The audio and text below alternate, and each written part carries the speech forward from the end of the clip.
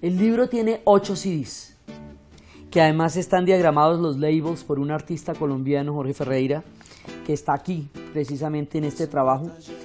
La idea es que son tres CDs de la historia del África Occidental, tres CDs de la diáspora, o sea, la llegada de las personas que fueron sometidas a condición de esclavitud a Cuba, Brasil, Estados Unidos, Jamaica, Haití y particularmente Nueva Orleans.